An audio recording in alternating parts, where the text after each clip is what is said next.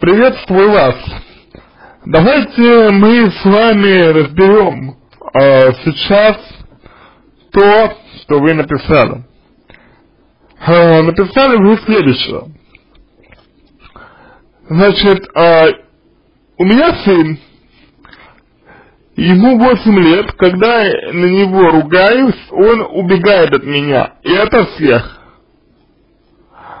Э, кто пытается объяснить, что это неправильно. Но он не воспринимает и убегает, хотя даже не кричит. А, уважаемая Евгения, вот как вы думаете, если вашему ребенку э, настолько страшно, что он убегает от вас, то э, что нужно делать? В этой ситуации. Вот просто, если э, просто размышлять логически, что делать? Ну, наверное, наверное, я, конечно, не уверен, да, но, наверное, наверное, а, нужно а, как минимум перестать на него ругаться. То есть перестать его ругаться. Наверное, стоит как минимум э, поменять свою позицию э, по отношению к нему. Как вы думаете? Э, наверное, стоит как минимум э, пересмотреть свое поведение по отношению к ребенку, верно ли вы, а, ну, верно ли вы занимаетесь им, правильно ли вы занимаетесь им, правильно ли вы а, доносите до своего ребенка а, то, что вы хотите сказать. Понимаете, а ребенок, он ведь э, очень хорошо чувствует то, что происходит.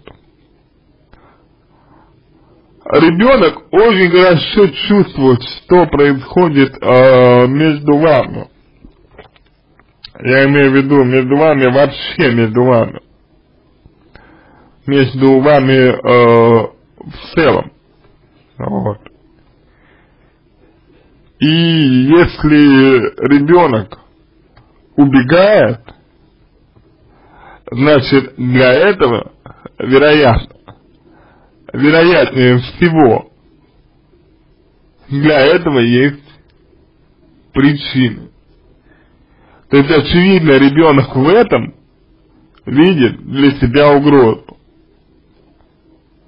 То есть вы, видимо, э, значит, пытаетесь объяснить, что э, что-либо неправильно, с подавлением э, своего ребенка. А подавление своего ребенка, простите, абсолютно неприемлемо. Абсолютно неприемлемо э, своего ребенка подавлять так или иначе. Поэтому, э, если вы считаете, что ребенок, ваш ребенок, э, делает что-то не, не, ну, что-то некорректно, что-то неверно, то нужно менять тактику взаимодействия с ним. Понимаете? Нужно менять именно тактику взаимодействия с ним. То есть, например, от ты, от ты, эм, переходить к э, я, например, например, Например, то есть от фразы э, ты это ты это сделал, например, неправильно, да, от такой фразы. Переходить к фразе, э, допустим, э, я расстроена тем, что, э, ну, тем, как ты поступил, например, или мне не нравится, э, как ты, как ты э, поступил. Я, мне грустно от того, э, значит, значит, как ты э, ведешь себя, ну и так далее, и так далее, и так далее. Понимаете? То есть э, и э, разделять, э, самое что главное, разделять, когда вы говорите именно о э, себе в контексте ребенка, а когда вы говорите о ребенке. То есть, понимаете, э, совершать ошибки для ребенка нормально. Делать какие-то вещи, э, которые кажутся вам, ну, э, плохими, это тоже нормально для ребенка. Он так получает опыт. Таким образом он получает опыт. А вот подавлять ребенка и говорить ему, что он не, не прав в своей позиции, например, вот, э, вот это уже неверно с вашей точки зрения, с вашей стороны. Почему? Потому что это подавляет его это не позволяет ему быть свободным, это не позволяет ему чувствовать, что он может делать все, что хочет. Понимаете? Исключение составляет только вред. Вред, например, вам, вред, например, другим близким, вред себе, например, но вред какой? Вред буквальный. Вред буквальный. То есть сюда не относятся, например, такие аспекты, как школа. Сюда не относятся такие аспекты, например, как, э, значит, эм, э, успеваемость. Вот. Такие аспекты сюда не относятся. Успеваемость не относится к тому, что является непосредственным вредом. Да, вы можете показать ребенку, что, э, что вам некомфортно от этого, что, ну, от того, что он э, не учится на, там, допустим, э, пятерке. Вы можете показать ребенку, что вам некомфортно от этого вы можете показать ребенку, что вам, э, что вам, э, ну, болезненно воспринимать его плохие оценки. Вот. И все. И все. Больше вы сделать ничего не можете. Ругать ребенка означает какую-то ситуацию, какую-либо, какую угодно ситу ситуацию возводить в степень травматической. И я Э, спрашиваю себя, э, это то, чего вы хотите? Возвести ситуацию какую бы то ни было травматическую или еще, э, еще более э, веселее сделать ситуацию э, запретной, ну вот какой-то, э, сделать какую-то ситуацию запретной для ребенка, чтобы он э, чувствовал, что вот э, это нельзя, это нельзя, это я не могу. И как, как вы знаете, как вы знаете, э, запретный плод, он всегда сладок. Вот. То есть, на мой взгляд, э, тут вот, конечно, требуется э, достаточное количество э, вашей осознанности, э, сознательности для того, чтобы, ну, все-таки э, перестать э, вести себя подобным деструктивным образом. Знаете, ребенок боится. Ребенок боится, что его какая-то оплошность э, вызовет такую реакцию.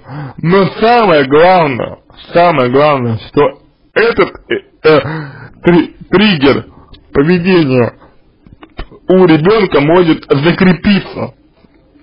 То есть он будет использовать этот триггер поведения а, во взрослой жизни, во взрослой жизни для того, чтобы получать какие-то выгоды. Например, э, не захочет ребенок, допустим, брать на себя ответ, ответственность. Ну, за что-то, неважно за что. Не захочет э, ребенок брать на себя ответственность, допустим, за что угодно. И он сделает так, как э, вот вы, гру грубо говоря, его научили. То есть он сделает так, что его наругают, он убежит и будет иметь право обижаться, злиться и вообще э, значит, э, какие-то негативные э, чувства в себе, в себе носить. Вот. Это то, что делаете вы. Это то, что воспитываете вы, к сожалению, в ребенке своем. И я не уверен, что это то, чего вы хотите для него, для ребенка, знаете, для своего. Кроме того, э, если э, вот ругать э, человека так, что он э, убегает, да, тем, ну, тем самым э, воспринимает это как угрозу, э, значит, что воспитывать в человеке либо э, безволие, то есть э, вообще просто капитуляцию перед кем-то более сильным, вот, э, про более сильного я сейчас еще скажу. И с другой стороны, э, культивировать в ребенке агрессию, то есть защиту. То есть он вот так вот убегает, убегает, убегает, убегает, да, то есть подавляет в себе что-то. Но однажды он может взорваться, например. И во взрыве, во взрыве, он будет обвинять не себя, а вас, ну, грубо говоря, грубо говоря. И кто ему скажет, что он не прав? Что? А теперь, что касается более сильного, то вы, вы, э, Евгения, более сильный человек. Ну, вы взрослый, вы опытнее, вы влиятельнее, вы могущественнее для ребенка. И а, тот ребенок вас боится, говорит о том, что вы неосторожно пользуетесь своим могуществом. Вы используете его э, бесконтрольно, совершенно. И что происходит? А происходит то, что ребенок боится близких, не доверяет близким. Если ребенок боится близких, значит он, скорее всего, будет и дальше их бояться. И всех, кто станет к нему так или иначе близким, он тоже будет бояться. Почему? А потому что его так приучили. Его приучили бояться близких.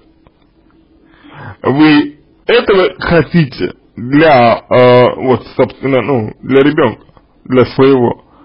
Вы этого хотите, чтобы ребенок боялся близких? Только серьезно и, и э, честно скажите, ответьте на этот вопрос. Сами э, себе постарайтесь ответить на этот вопрос. Вы этого хотите? Если да, то никаких проблем нет. Если да.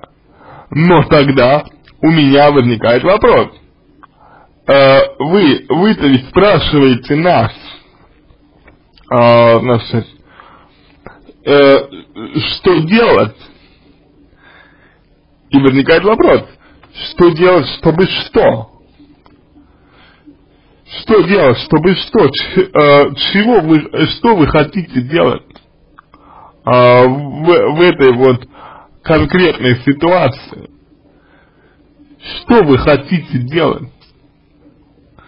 Вы здесь спрашиваете, что делать? Соответственно, момент здесь заключается именно в этом. Что делать, чтобы что? Если у вас цель ребенка подавить, например, чтобы он выполнял, только выполнял то, чего, допустим, хотите вы от него, это одно. Если ваша цель вас, э, воспитать и вырастить э, достаточно сильную личность, именно личность, то это все-таки, на мой взгляд, ну, немножко другое. То есть зависит здесь все от того, чего вы сами хотите. Какой вы родитель, какая у вас цель, что вы вкладываете в эм, э, ребенка, то есть, ну, какое значение, да, вы э, вкладываете в ребенка своего, вот. То есть вот эти вещи нужно определить вам. Определить эти вещи, и в общем и целом будет все гораздо лучше у вас. Ну, то есть, а, по крайней мере, ситуация не будет складываться так, что а, у вас будут какие-то вот а, недопонимания. Определитесь со своей целью, Евгения. Вот цель у вас какая? Именно цель. И вот исходя из этой цели уже можно будет а, ну, делать какие-то выводы и, собственно говоря, корректировать свое поведение. Я думаю так. А, значит, что э, еще я вам хочу сказать. А, значит, так. Вы говорите, что у меня сын. Э, сыну, сыну нужен отец всегда. То есть сыну всегда нужен папа мужчина. А, соответственно, возникает а, вопрос, как у ребенка обстоят дела именно с отцом. И обстоят ли они как-то, эти самые дела, с отцом. Потому что а, отец для ребенка это всегда, знаете, такая опора, это своего рода такой, ну, если можно так выразиться, а, идеал для ребенка. А, отец это некий такой ориентир в жизни ребенка. И если э, у ребенка с отцом нет связи, если в жизни ребенка нет отца, если в жизни ребенка отсутствует мужчина, как таковой, мужчина, то мне кажется, мне кажется, что это уже само по себе является причиной того, что ребенок убегает. То есть, когда трудность, когда какая-то трудность, маленький человек, пока еще маленький человек, приучается избегать он так и будет всю жизнь избегать проблем. Вы этого хотите?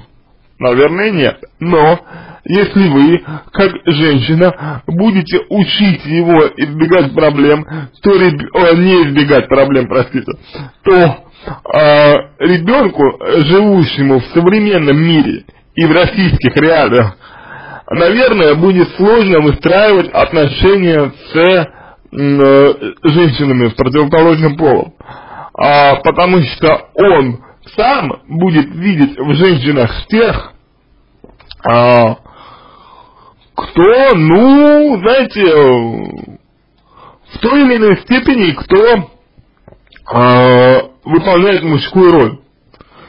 То есть женщина для такого мужчины будет никем иным, как мамой, то есть вами. И разве это хорошо? Евгения. Разве это здорово? Мужчина должен быть мужчиной. Для этого мужчина э, должен уметь справляться с трудностями. Для этого, а, ему нужен, нужны средства для того, чтобы справиться с трудностями. Именно средства. Ребенку нужны средства для того, чтобы справиться с трудностями. То есть ресурс. Ресурс, ресурс это э, не опасность, Я не говорю слово безопасность, я говорю не опасность. Для ребенка это такой ресурс, не опасность. И одновременно с ресурсом, ресурс дает ему, ему вы, чувство, любовь, уважение к себе, там, уверенность, э, ценность и так далее, да? Одновременно с этим ему нужна модель поведения отца, ориентируясь на которую он будет справляться с этими трудностями. Иными словами, глядя, как папа справляется со своими трудностями, э, соответственно, э, ребенок также действует э, в аналогичной ситуации. Ну, не обязательно прямо так, не обязательно прям буквально так, но он старается, он старается. Вот так происходит процесс э, преодоления трудностей и, собственно говоря, поиск компромиссов в здоровой семье. А то, что у вас, это, знаете, это, к сожалению, к сожалению, это нездоровая, нездоровая ситуация, когда ребенок э, убегает от своих родителей, если они пытаются ему что-то объяснить. объяснить. Вот. Кроме того, э, правильно и неправильно. Это тоже такой достаточно э, важный и болезненный момент. Понимаете, Евгения, а правильно, то, что правильно, это только с вашей стороны, это с вашей позиции, правильно. Но для ребенка это может быть иначе. Говоря ему, что правильно, а что нет. А, при этом, минуя ситуации однозначного вреда ему и вам, вот. А, вы навязываете ему свою позицию. Вы навязываете ему свою позицию. И тем самым приучаете ребенка не прислушиваться к вам. А, не прислушиваться к самому себе даже. Понимаете? Вот. И это тоже деструктивная модель поведения. Ну вот, э, я полагаю, что примерно так можно ответить вам на ваш вопрос. Э, я надеюсь, что это было полезно для вас. Э, если вам понравился, понравился мой ответ, э, буду благодарен, если сделаете его лучшим. Желаю вам всего самого доброго и удачи.